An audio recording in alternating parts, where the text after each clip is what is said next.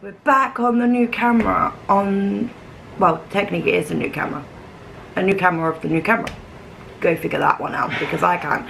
Think- Minus one off the year. Yes. Okay, so it's Sorry. sorry. 2018, so minus one off the year, so Okay. I'm 2017 years old. No, no, no, no, no, no, no, no, no, no, no. I will try not to steal your jumper on the way out. If, if you find that I've been arrested before this vlog goes up, you know why. So, one of my biggest top tips for that, extension leads. I'm Stacey, I'm John. and this is Raw Ability Life.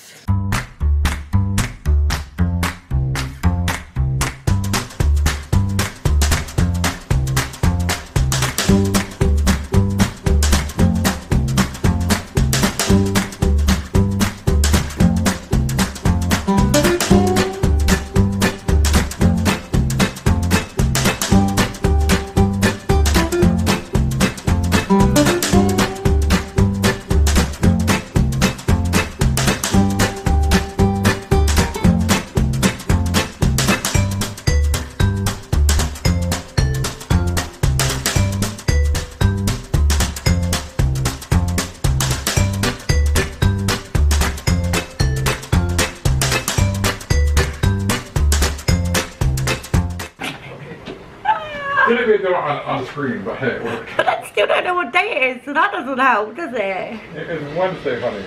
Wednesday. Good Wednesday afternoon. Yeah, it's afternoon. It's me. It's afternoon. Um, John is ironing his shirt last minute before going to work, as usual. You gotta keep up your image. you gotta keep up your image. What by ironing last minute? Yeah, the funny thing is, I, would, I, I I can't turn the camera around right now because it's up on a stand so that I'm not having to hold it all the time. Um, oh, John, could you mute the TV? We don't need to be getting, Jurassic World in the background. yeah, and then getting those thingies on us, slapped on us. Copyright. Wood copyrights, yeah. Um, What the hell? I thought I muted it. no, you didn't mute it, honey. You just picked up the remote, made it look at the TV, and did Oh. nothing. Yeah, no, if I could turn it around, John is actually doing this like kind of iron dance as he irons. It's quite amusing. um, so, yesterday, the live stream, that was pretty awesome. I was really kind of nervous about that. Um, I think I was more nervous that what if loads and loads of people kind of just came into the stream and we couldn't keep up with the chat or anything like that? And we had already pre-decided we would do things to protect me from the chat if it goes too fast and stuff like that. So it was awesome to know though that John worked out a way that we could slow the chat down. So that there is no possible way that it's going to set me into a seizure. That is really cool to know um, that that's possible um, but in general we both really enjoyed the live chat um, and I'm really glad that Kirsty had the courage to ask a question because I really needed to face that. I needed to face somebody asking me a question live on a live stream and I hope I did okay answering it. I know that afterwards I felt really nervous, which is why I started acting silly afterwards because that's my way of coping. Um, because it was like that whole nervous of did I answer that in the way she needed it answered? Or you know because they're difficult questions to answer because everybody is on different paths. Everybody's going to handle things differently. So how I handle things is not necessarily how somebody else can handle things but have you noticed we're back on the new camera on well technically it is a new camera a new camera of the new camera go figure that one out because I can't um You're the one that said it though. So it. You're the one that said it, but I'm supposed to figure it out. Okay, I was the one. Well, it's the new camera that I broke, but it's, It's a newer one. Of, it's a repl- yeah, right, replacement. Thank you, John. Replacement of the new camera. So better images, yay for that. Um, And yeah, today is Wednesday, so John goes off to work. We've got the carers coming in. Got a carer today that I don't know whether she's going to be camera shy or not. Um, find out when she gets here. Haven't had her for quite a while actually. Yeah. Oh. Lovely girl, lovely girl. Haven't seen her for a long, long time, so that would be nice to catch up with her. And I think I'm going to make a start unpacking meds today. Um, I won't get it fully done because we're still waiting for the Zonisamide to come in. And what else? I'll be Lucas. And the right Montelukast. So, for the most, But again, we never finish packing up medicine suitcase anyway. It's always you you pack the medicine side of the medicine suitcase. that is true. Like John's so just saying, finished. Um, the medicine suitcase is never ever finished fully until the day we leave, um, the morning we leave, because I could pack one side with all the medicines, but the other side is things like my nebulizer, John's sleep apnea machine, and they can't be packed till the morning we go. So it's um, never actually fully finished until we the day we leave anyway. so yeah, it's gonna be a day of get things done hopefully. Um, but I'm not going to push myself as much as I did the other day when we were packing. I I deliberately put myself in a position on the bed where it was okay to record and it made it clear to record but that really hurt my hips and my back and I paid for that for a couple of days and it made it harder to continue packing. So today I'm going to be a little bit more sensible so if I can record what I'm doing I'll record it. If I can't I can um, we'll see how we go.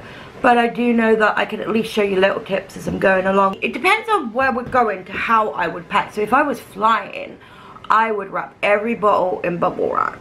And I would do everything possible to protect it. I'd put towels and towels and everything in between just to protect them all as well.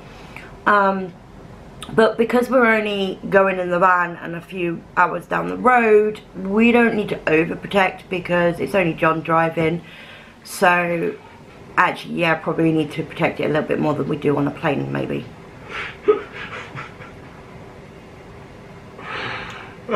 Love you. Are you gonna come and say hello to them this morning? Yeah, one second. That was that one. Uh, You're gonna do that one day and this is gonna fall. You already know it's loose. afternoon. This one is trouble. Of course, I gotta be trouble. It's my job to be trouble. Really. Yes, just like it's your job to be trouble as well. At the right times. I just do a better job of it. Well, yeah. you have more practice at it. But you're older than me, so you have more practice at it. No. Oh, do you know what, guys? I I've told you I was 35 yesterday, and I'm not, I'm 36. It's the one thing you will work out about me. I never, ever remember how old I am. I never do, do I? I, I just, Even on your actual birthday, you, don't- you Yeah. don't know what you are. on my actual birthday, I'll be like, how old am I? You know, it's very simple. If we're before July, minus one off the off the year. If it's after July, it's the same thing. Minus one off the year. Yes. Okay, so it's Sorry. sorry. 2018, so minus one off the year, so I'm 2017 years old. No, no, no, no, no, no, no, no, no, no, no. Okay, at the moment for this year. Sorry, if it's before July, minus two. After July, minus one. So I'm 2015 years old. You're not. How did you get to? It's 2018. Because you said Wait, wait, minus wait, two wait. off the of the year. Wait. But it's 2018, so you're minus 2 is 2016. So where'd you get 2015 from? We completely whacked that one out the wall. No, okay, no, oh I'm Oh, saying Goodness. it's 2018. You minus 2, so you're 36.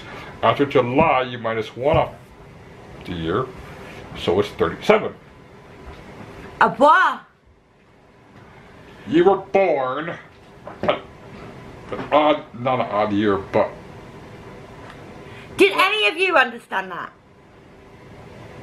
because uh, that went. Anyway, all I'm trying to say is I will always, always give you my birth wrong. My date wrong because I get confused. And it's not Age, only by age. Well, yeah, my age, not my date. It's normally normally by a year I get it wrong. So it's like all this year I keep getting confused between whether I'm 25 or tw 25, 35 or 36. You wish you were 25. I, the reason I'm thinking now, the reason I'm thinking 25, I'll explain in a minute. But this year I'm like confused between whether I'm 35 or 36, and next year it'll be whether I'm 36 or 37. I- I do it oh. every Oh. year. This year's 36 or 37. I give up. I just get confused with my age. Don't. That's just me. But I am 36 until July. Then I'm 37. Um, but yeah, 25. 25. The reason I was thinking 25 is because um, I was remembering my 25th birthday. Right, so my 25th birthday. Um, I had, for a start, I dyed my hair. So I wanted to dye it bright purple. So I had to go in stages. I had to go and dye it, ble- get it bleached blonde first, which I look really stupid with bleached blonde hair. And then um, dye it purple. And then I had to grow it out afterwards, but that's not the point. But on my birthday, I had bright purple hair. I loved it. okay. Um, and then Sarah wanted bright pink hair on her birthday, so obviously we didn't have the time to like get her hair fully dyed, and she wanted, she didn't want it permanent either. She wanted like uh, semi-permanent, like wash in, wash out stuff. Right. we were staying in the Copthorne Hotel in Plymouth. Um, I can't remember whether we stayed one night or two nights, but we were staying there, and we both had a disabled room each. And um, they had a bath lift because obviously it was back then. Disabled rooms still had baths, Right, fair enough. but they had a bath lift that lit seat that lowered you in and out of the bath good. Uh, th- th- There is that that. but it wasn't plastic. It was kind of like um, it was one. It, you got to think back then things were different, uh, you know. So it was made. like, like almost rusted metal. No, it was kind of wooden, bambooy, woody, kind of. I, I don't know. Did you But- break it? No, we dyed it pink, and we dyed the bath pink.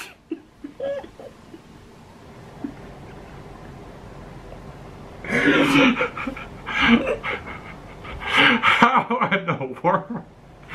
Because obviously when we came back, we had to wash it all out for her. You know, I thought you used that much pink though. You didn't need to use that much pink and dye is dye. You, you've never used dye? Would you like me to dye your hair? I'm a guy. How often do guys dye their hair? Oh, it was amazing. That was a really cool birthday though, but we, yeah, we made a mess in the hotel. Hey, I'm gonna, I'm gonna try and fish the photos out of us with our crazy hair. Um, Sarah's was awesome because it was bright pink and it was all spiky. Where would it be? Mm, no, I wouldn't even know where to look for personal photos of things nowadays. Okay, good. Um, a lot of mine kind of went when I went into, Support living. yeah. Never mind. Um, hmm. That'd be it. Oh, me too. So anyhow, guys, I'm gonna catch you guys a bit later. I'm just gonna say bye to him while he goes to before he goes to work, and I'm gonna catch you guys a bit later. When your carer turns up with a Gryffindor top and won't let you steal it, this is so cool. Apparently it comes from the Harry Potter studios, but I can't get tickets to go there till the summer, which is really sucky. I love that. Say hello. Say hello. Hi. it's Michaela. She was the lady I was telling you about this morning that hasn't been here for ages. but I want her top. That's so cool. Yeah, you can leave that here by mistake. I'll pack that and take it on holiday with I me. I thought you said. oh, you know my paras. Have you ever done done my paracetamol before? no. Normally my paracetamol is this like bright orange yucky stuff. But for some reason this time they've given me colour free. Oh, okay. So I reckon the pharmacy may be watching our vlogs Mm. because um, we kept complaining about how it was yucky, bright orange, and now Yeah. I got colour free. Quite possibly, yeah. so, yeah, we were explaining in one of my medication ones how um, they have to put pharmacy have to put labels on the bottles for you girls Yeah. because uh, if it's on the box, you can't give it to me. Yeah. very important. If we don't get a bottle and it's not on the the the prescription's on the box and not the bottle, we have to take it back to the pharmacy. It annoys them. I find it funny.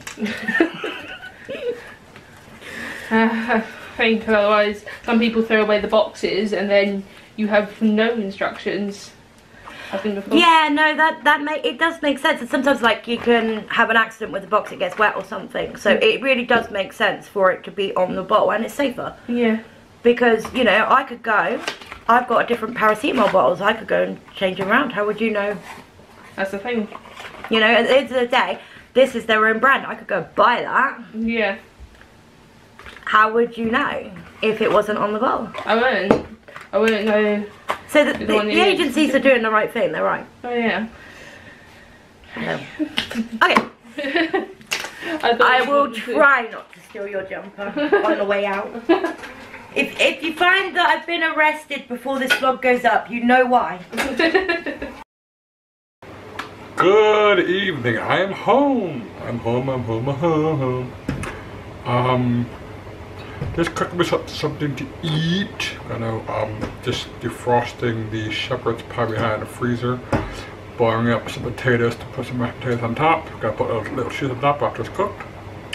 I'm gonna eat. Um, I just put Stacy down in the bed for a nap because she's really tired right now. Um, I believe, I'm not sure she sorted the meds out on video or not, but she has sorted some meds out. Um, and after once I'm done eating, once she wakes back up from a nap, I'm gonna pack the back together. So that should be interesting. So nothing really more up to up, up to date here at the moment, but you will see us later. Okay, top tips for you for packing if you want to go away. Um, some of these are okay if you want to go abroad. Some of them work for that too. Um, but in general, this isn't necessary just for self-catering. This we would take these no matter where we're going. Even some these are things we'd take even if we were going overnight somewhere. Uh, most of us with chronic illness or a disability, um, and actually in this day and age, just able-bodied people, we all have a lot of electricity things. Um, you know, your mobile phone, your iPad, your laptops. Then let's put the disabled aids in, your wheelchair, your air mattress, and let's put the chronic illness stuff in, John's sleep apnea machine, my nebulizer, um, what am I forgetting? Recharge your body. Yeah, recharge my body. oh, I wish life was that easy. Let's just get one of those, um, oh, what do you call it? USB plugs and charge me in. um, sorry, I'm hot because I've just been packing the med suitcase. That's a chore, I tell you. Anyhow, so one of my biggest top tips for that, extension leads. Um, now, we take three different types. We always used to take two different types, but there was a vlog. Did we actually vlog it when we bought them? I think we did. Which one? Yeah, the, these ones. It was when we were with Nan and Grandad we bought these. around there are a lot of them. I'm not sure if we vlogged that we picked them up or not, um, but I'll explain these in a minute. So normally we take two extension leads with just two plugs, um, and then normally we will take an extension lead which has four plug bits on it, and we now have these type 2 which has four bits on it. Yeah, it's four, isn't it? Yeah, I think it's four. Um, but it also has USB ports in it, so two USB ports on it. So it's pretty awesome because instead of having to plug the plug in for the USB port things, we could just put the USB straight in. So extension leads, they are absolutely vital for us because obviously we need to make sure my mattress is actually on the bed. Um, if it fits. If it doesn't, then it's on the floor. But we need to make sure the machine's plugged in. That's just the instruction leaflet. This one's a brand new one, not been used yet. Um, the uh, well, just everything we need to. And, and most places do not have enough plugs, uh, especially in a hotel. We've always found that there's never enough plugs in the hotel for all of our medical needs. Um, and they're always in a ridiculous place. If- they have enough, they're, they're, they're never next to the bed. They're Yeah, on the then other side of the if they have enough, they're never near the bed. They're like other side of the room or something stupid. So, you know, poor John with his sleep apnea mask would have to sleep by the front door of the hotel room or something, cropped up against the wall.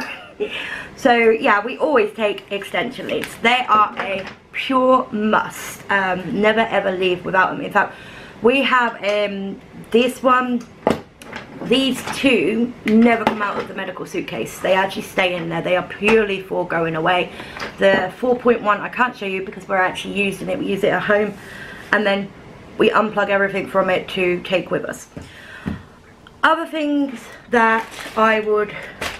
I, th these are the things I would call essentials for travelling in general. Wet wipes. These are amazing for travelling when you're I use wet wipes for pretty much everything all things from I don't know like I'm hot and sweaty right now when I cool down a little bit I'll use a wet wipe to freshen up. Um, obviously if um, I'm changing a dressing and things like that I want to make sure I've got clean hands and I'll wash my hands but then I've got to transfer and things before and I still need to just make sure my hands are still clean so I'll use them again. Um, if you're out and about and you get sticky hands and things like that they're perfect for that. And if you're a wheelchair user who uses a manual wheelchair your hands get dirty on the rails on on on your um sorry i can't yeah it's not the wheels it's the bit that they turn um th- there's a side grip on it and i can't think of the word that they call it. Um these are perfect. And you can get them in uh bag size which is half the size. They're more expensive. Personally i just buy the bigger sizes and I whack them in my bag on the back of my chair. I take an extra couple in my suitcase. I use wet wipes all the time. They are cheaper and I mean it's like people pay extraordinary prices for the makeup removers. I've always used wet wipes. All my life I've used wet wipes instead of makeup removers. It's cheaper. And if you're like me and you have a lot of medical equipment and medical stuff and it produces a lot of waste, like all my syringes, they're going to produce rubbish and the all the bandages and dressings and all that that produces rubbish. Best thing for getting rid of that rubbish? Nappy bags. They are cheap, they are cheerful. Um, whack them in there. Old um, syringes, don't just I don't just throw them in the bin because I need to protect. Um, you know, say say we'd gone out and a member of cleaning staff came in. I don't want them to just put their hand in the bin and, and, and touch my one which got medicine on and could make them ill. So I always throw them in a nappy bag and then into the bin. So I always carry nappy bags everywhere for the for um, the sort of medical waste and my stolen bags. Yes, I stole them. Not on purpose, by accident. Oh yeah, I borrowed them. I accidentally borrowed them. Well, I, no, I didn't accidentally borrow. I borrowed them on purpose, accidentally stole them. Um, from Lidl's, because they're a little bit bigger than nappy bags, so they do the same trick as nappy bags, but they're bigger. Um, they are what you get in the shop when you're putting your vegetables in. Well, I couldn't reach, so we took it off and we were doing a whole load of vegetables because it was for Thanksgiving time, so we buy a lot of veg around that time. Um, and we cook it up and freeze it down and all kinds of funky stuff, but you'll see that in November. But yeah, I took it. John passed it. No, it wasn't you. It was somebody else that passed it down to me, wasn't it? A random stranger passed it down to me so that I could just go on my merry way and help myself to me vegetables. Stuck it down the side of my chair, forgot about it, and walked out the store with the whole thing, and it was a lot bigger. So these have come in really handy too for medical waste. And another one, it's bags again, white bin liners for even bigger rubbish from medical waste. Very handy. so they're top tips I could give you. Um, I always make sure we have basic first aid kit as well because never know when your husband's gonna walk into a door or trip over his own feet or he's ignoring me. he's eating his shepherd's pie. Is it shepherd's pie? Yeah. Is it good? It is, yeah. It's yummy. So yeah, I always make sure I've got basic first aid kit, but I don't have to really add much to it other than the typical normal plasters because of everything I normally carry for my wound care. So I couldn't record me packing my meds into my suitcase. One, because actually to be honest, it would have been really boring for you. I'm not doing anything extra special this time. I'm not flying and I'm not going on the train. So I don't need to wrap it in bubble wrap or protect it in any way like that. At some point I will do, I will show you um, those sort of tricks and the things you can get to help you with that sort of stuff. But I didn't do anything special with it. I just played Tetris, really, to get everything in the suitcase um, on one side because the other side is will be the medical equipment like John's sleep apnea machine and my nebulizer and stuff. Although, are we going to put the nebulizer in the bag or are we going to leave that out seeing as I've been quite chesty? Whatever you think is best, honestly. Might make, but might make sense to, um, Leave it out. yeah. Okay. Oh, and my bed pump machine needs to go in there too. So I just thought I'd share a couple of these little tips because it's not just chronic illness, it's disabilities. And some of these tips are great for non-disabled people, you know? We all touch things and go, Ugh. So a little pack, even if you don't get the big pack, get a little pack, have them in your handbag or in your day going out around bag. That's, they're handy. And extension leads, amazing. Oh, you, you just, I don't know how people with disabilities chronic illness cope without taking a extension lead because where do you plug everything there's just never enough plugs so they are my biggest tips for today and packing and right now I need to go and cool down because I am not going to go into a seizure I will catch you guys in a bit Yeah! are you trying to make me jump Of course I'm trying to make her jump. See? I, did I make her jump? Oh, you can't see. You're looking at me. Well, why are you looking at me for? You're supposed to be looking at her. Will you pay attention? Wait a minute. You want to pay attention. Never mind. how do you know they might be ignoring you Well, they could be ignoring me too. Just how hard can they ignore me? I don't know where this is going. So, a little tip. One of the creams that Stacey orders to help with the sores that happen on her body, because she, she had different creams to do different things, as we showed you in our video. But, but one of them normally comes in a tube of, of the, the medication. But sometimes the pharmacy makes a mistake and orders, they're kind of like little sachets of it. So whenever we get this, we try, Stacy tries to save them for when we um, go away, because they are easier to take an entire tube of them. I mean, we are taking the tube as well as these because we don't have enough of these, but she, she, she does try to save these because they are very helpful when, you go when you go away.